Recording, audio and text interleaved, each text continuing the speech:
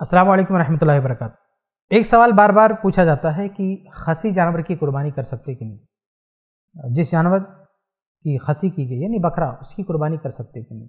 ये बड़ा अजीब सवाल है। मालूम नहीं कैसे कुछ लोग ये शौक़ पालते हैं कि इसको मौजू बहस बनाएँ।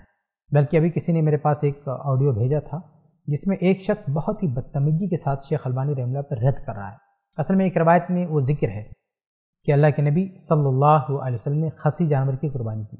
तो उस रवायत को ज़यीफ़ कहते हुए शेख अलबानी रहमला के बारे में अजीब व गरीब खुराफात बक रहा था वो शख्स। अल्लाह हिदायत दे लोगों को। देखिए, इस सिलसिले की कोई रवायत ना हो, उससे कोई फ़र्क नहीं पड़ता है, क्योंकि अल्लाह के नबी सल्लल्लाहु अलैहि वसल्लम ने उन अयूब को गिना दिया है, जो जानवर के अंदर हों तो कुर्बानी नहीं हो सकती, और वो कुल चार हैं।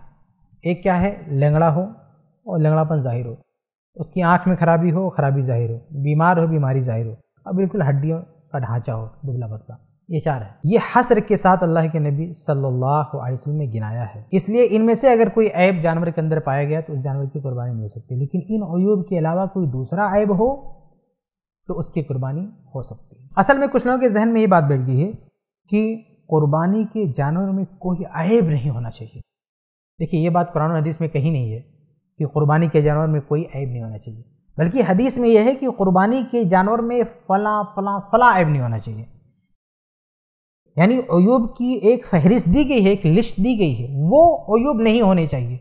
उनको छोड़कर दूसरे अयूब हैं तो उनकी कुर्बानी हो जाएगी, क्योंकि अल्लाह के नबी वसल्लम ने दूसरे ऐब का ज़िक्र वहाँ पर नहीं किया है। अलबत्त अगर कोई शख्स ये पसंद करे कि वो ऐसा जानवर मंतखब करे कुर्बानी के लिए जिसके अंदर कोई ऐब ना हो। कहीं से उसको हल्की खराश भी ना लगी हो। अच्छी बात है। एक खूबसूरत, तंदुरुस्त, सेहतमंद जानवर का इंतखब करे। अच्छी बात है। वो फतवा न दे कि ऐसे ही जानवर सबको लेना है। और अगर कोई कमी, खराबी है तो उसकी कुर्बानी नहीं हो सकती। ऐसा नहीं है।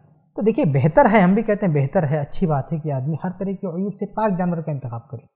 लेकिन जब बात यह आएगी ना कि किस जानवर की कुर्बानी कर सकते हैं, किसकी नहीं तो फिर हमें हदीस की रोशनी ही में बात करनी होगी। क्योंकि अल्लाह के नबी सल्लल्लाहु अलैहि वसल्लम ने सिर्फ़ चार का ज़िक्र किया।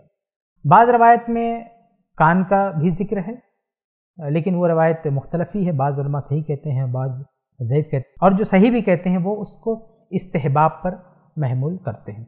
तो ख़ुलासा ये कि खसी, जानवर को जो खसी करते हैं तो ये आप अगर इसको ऐब मान भी लें तो ये ऐब उन अयूब में से नहीं है जिनको गिना के अल्लाह के नबी सल्लल्लाहु अलैहि वसल्लम ने कहा है कि कुर्बानी नहीं हो। सकती इसलिए खसी वाले जानवर की कुर्बानी कर सकते हैं।